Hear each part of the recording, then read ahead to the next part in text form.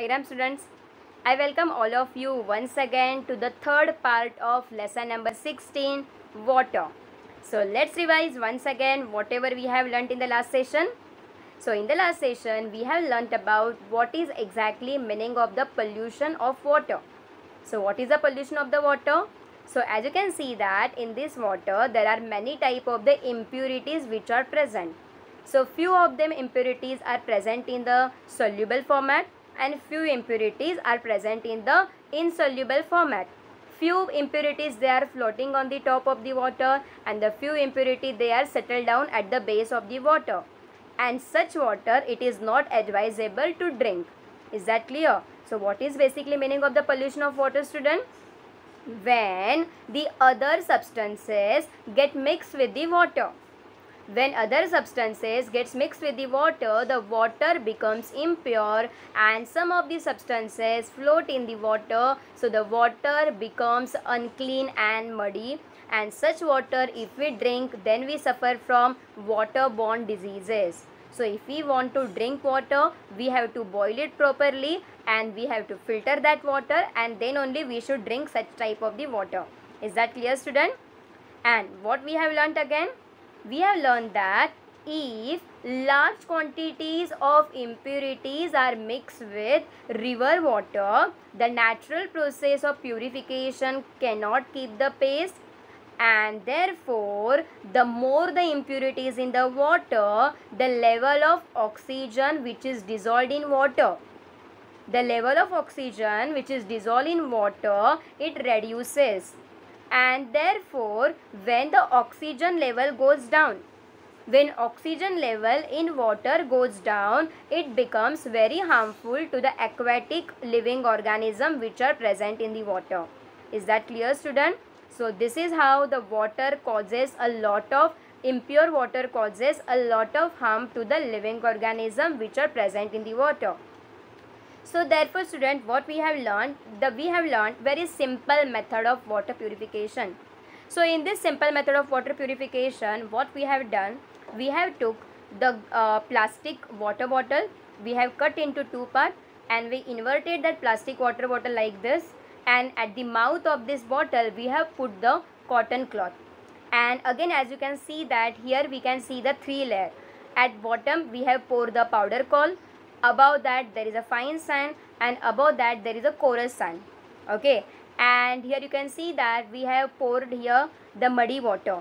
So the muddy water it will get filtered out and at mouth there are cotton cloth and because of the charcoal the impurities which are present in muddy water they will be absorbed very immediately. And again at the base of this bottle a clean water will be accumulated.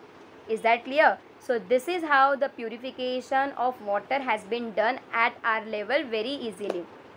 But the purification of water has been done at the larger scale at water works. So like in our area, we get a water from TMC and etc. So water has to get purified at the higher level. So there are basically four steps which we usually follow to clean the water at the commercial level. So what are the four steps for the cleaning of the water? So as you can see that over here, settling, filtration, oxygenation and chlorination. I repeat once again, settling, filtration, oxygenation and chlorination. These are the four processes of water purification which can be done at the water work at the commercial level. So now we will learn about all of them one by one okay so now let's see here once again. So what is the basic meaning of the settling? So in the settling process what exactly it has been done? The water from the water source. The water from the water source it is allowed to stand in the larger tank. So when we allow the water to stand for the longer time then that time what happens students whatever impurities which are present in the water they will get settled down at the bottom. Am i right? And on the top there will be clean water. So the settling down is the process where we allow the water to be like that only for longer period and at the bottom there will be more and more impurities. Okay? And most of the time we add alum also. Most of the time we add alum also in Marathi we call it as turti in Marathi we call it as turti. So alum is added to the water to purify. So when we add the alum in the water that alum takes the impurity and that impurity will settle down at the bottom of the water and the remaining portion of the water on the upper surface it will be clean. So like this student you as you can see that over here here in the water tank the water is allowed to settle down. And the water which we can see here on the upper surface it is safe and it is drinkable so this type of the process we call it as what? Settling. So by this process also the water can be purified very easily.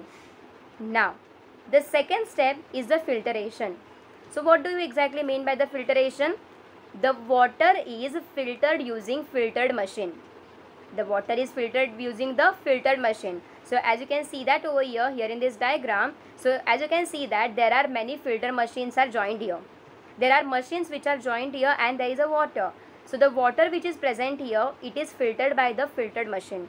So like at our home aqua filter guard etc are present which is a smaller machine right? But at the commercial level these machines are very big at the larger scale. At the larger scale the water has been purified okay? So i hope so students now you must have understood about what do you mean by the filtration.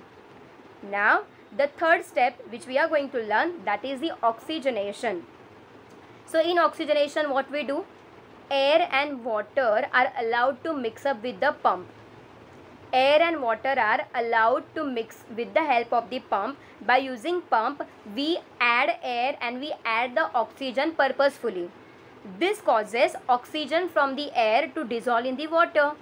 What I had told you in case of the impurity, the oxygen which is dissolved in water that goes down and that causes harm effect to the living thing. So what we are doing here, we are providing oxygen artificially. Artificially we are allowing oxygen to go inside the water so that the level of oxygen in the water will increase so when the level of oxygen in the water it will increase, the water will get purified very immediately and there will be no harm effect to the animals or plants which are present in the water. So as you can see that student over here, there are pipes are present, there are machines are present. So by using these pipes and by using these machines and there are certain pumps as well. So here pumps are also there. So by using the pump, we are allowing oxygen and air to go inside the water to increase the amount of oxygen which is present in water. Okay, so I hope so now you must have understood about oxygenation. Fourth step which we are going to learn that is chlorination. So in chlorination what we exactly do? We add chlorine. Chlorine is a type of the chemical. Chlorine is a type of the chemical. When chlorine is added to the water, it kills the germs which are present in the water students you must have visited the water park so the uh, smell of the water which is present in the water park it is something different so the water which is present in the water park that is because of the chlorine so the chlorine has that particular type of the smell so the because of the chlorine the smell of the water park that is something different okay so what is the role of the chlorine the chlorine kills the germs which are present in the water and therefore the water becomes purified and the water pollution will be avoided.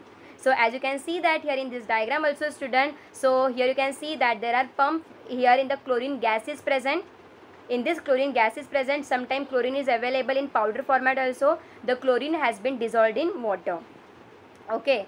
So i hope so student. Now you must have understood about what is filtration what is oxygenation what is settling down and what is chlorination as well. So let's recall once again what is meaning of that. So we have learned that water purification has been completed at four steps. First one settling then filtration then oxygenation and then chlorination what is settling I told you that in settling process, the water from water source is allowed to stand in the large tank and sometime in settling process, alum is also used. And in filtration process, water is filtered using the filtered machine. And third one, in chlorine, in oxygenation, what we do, we provide air and water to mix with the pump and therefore the oxygen level in water get increases and water will get purified very immediately and in the fourth step we add chlorine in the water so that the germs which are present in that it will be killed very immediately. Is that clear? So I hope so student the four type of the water purification you must have understood in detail. So the next part of this topic we will continue in the next session. Bye bye take care.